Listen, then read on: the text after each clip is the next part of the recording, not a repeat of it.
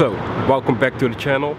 My name is Bear. Today we're going to talk about the Canon EOS RP. I have bought this camera six months ago and I've learned a lot of stuff about this camera, good things and bad things. We haven't talked about cameras in a long time, so let's talk about it.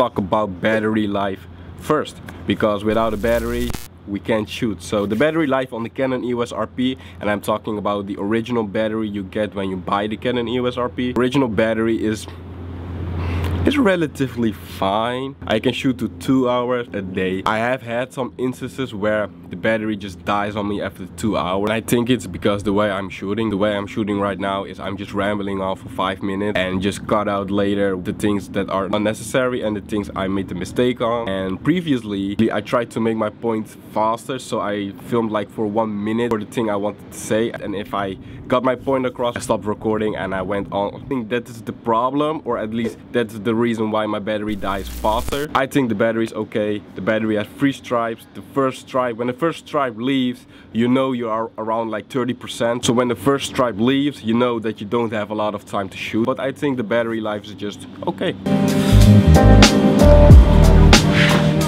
So let's talk about autofocus for a moment. The autofocus is pretty fast compared to my Canon 1300D when I'm vlogging and when I'm on the longboards most of the time when I'm just just panning the camera up from my shirt or from my hoodie. I needed to have a autofocus that needs to be crazy fast. And this camera does the job pretty well because when I'm just swinging the camera around there you have it. The autofocus is there. I have to say for photos when you are shooting photos on the Canon EOS RP doesn't have many autofocus points. When your subject is really far from the camera the autofocus isn't that reliable. It is good, but not that reliable. I would say out of the 10 times, it would capture it 9 times, 8 times. The other 1 or 2 times, it just misses a little bit. The dual pixel autofocus is just of course it's not the best as I said so you need to keep that in mind for when you are going to buy an EOS RP but times when I screwed it up it was just my own fault instead of the camera's fault so the autofocus is just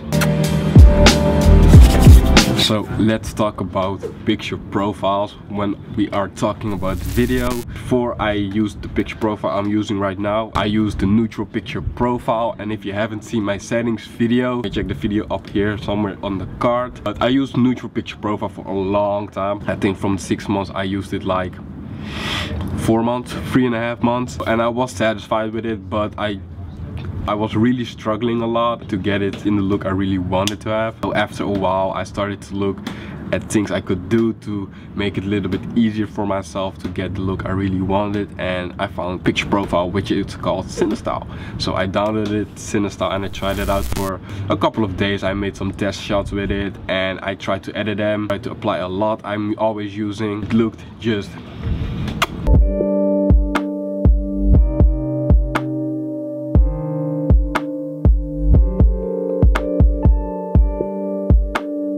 It's a really great flat picture profile which contains a lot of detail which I needed to make my look look better. Cinestyle isn't originally on the Canon EOS RP, keep that in mind. Canon EOS RP doesn't have a flat picture profile like the Canon EOS R, R5, R6, um, but that's one thing I've learned throughout the six months I'm using the Canon EOS RP.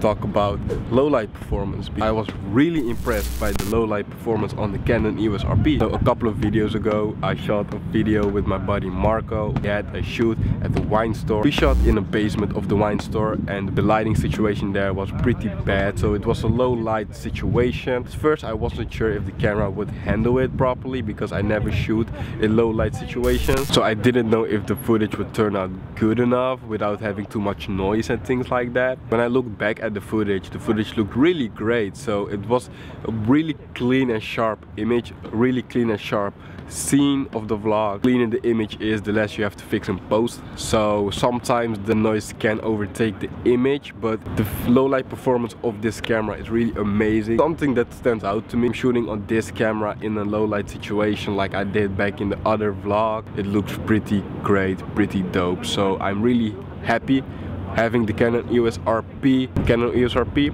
six months right now.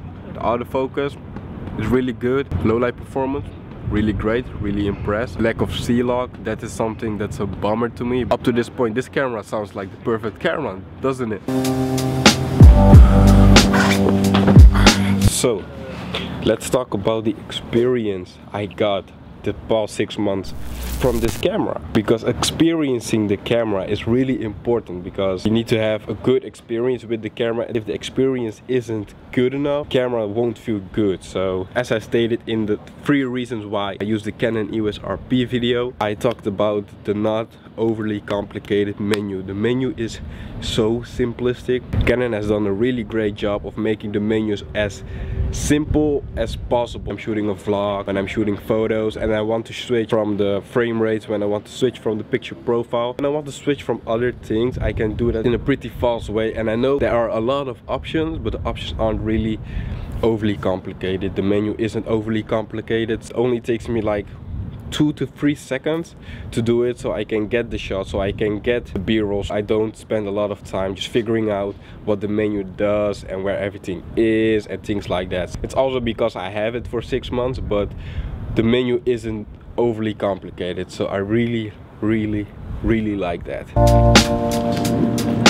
so when it comes to experience there's one thing about this camera I don't really like and I haven't fixed it yet. The camera is really small. When I'm holding the camera at the handle my pinky is floating in mid-air and it feels really uncomfortable. I try to adjust my hand so my pinky can at least touch something. The camera is so small the camera is so light and I like that that the camera is small and light but because it's small like my hands don't properly fit on the handle so when I'm shooting like this holding the lens with my left hand and my right hand holds the camera body it just it just doesn't fit really well. And something that can be fixed with a battery grip. So I have to buy a battery grip but of the get-go if you buy the Canon EOS RP and you have big hands the experience of holding the camera will be a little bit off but that's something I personally don't like. It doesn't ruin my experience of making content with this camera, but it makes it a little bit less comfortable, so to say. I hope it makes sense. So, I just wanted to talk about the last flaw I think this camera has in my opinion. I think a flaw of this camera is not having in-body stabilization and it's not necessarily a thing I need to have but it is something that's valuable to have in terms of making b-roll or making those smooth shots you want to take because I don't have a gimbal. I'm not usually shooting with a gimbal. I'm usually shooting with my hands just I'm shooting handheld. Having in-body stabilization is uh, not necessarily a must but it's something great to have. And my lens my 15 to 35 millimeter RF lens has image stabilization. I can get some smooth shots with it but when I want to get some hero shots from up close the chances are shooting a handheld up close shot will make your footage look shaky. So it's a bummer that the camera doesn't have it. It's just the camera can't have everything you want. I just like to have in-body stabilization. So do I think the Canon EOS RP is a valuable camera to get in 2021 and the end of 2020? My answer to this question is yes price range is just amazing. You can find this body this camera body for 900 dollars. So it's a pretty cheap full frame camera. It has 24 frames per second 30 frames per second 60 frames per second. Doesn't have log. It doesn't have in-body image stabilization. And the battery life is just okay. Right now my battery is on red so it's it's going to die on me pretty quickly so I have to finish this up in real time pretty fast. In my opinion this camera is worth it especially for people who want to get into full frame cameras, who want to buy full frame lenses and don't want to break the bank. Like compared to the EOS R, the EOS R5 and 6, the EOS RP does a decent job for full frame cameras. So I recommend this camera. I'm using this camera for six months and I'm happy with it. That being said guys, I hope you guys enjoyed this video. I hope you guys got my perspective on this camera and you guys learned something. If you guys like this video, make sure to leave a like, subscribe if you are new to the channel and if you enjoy this type of content and with that being said guys I see you guys in the next video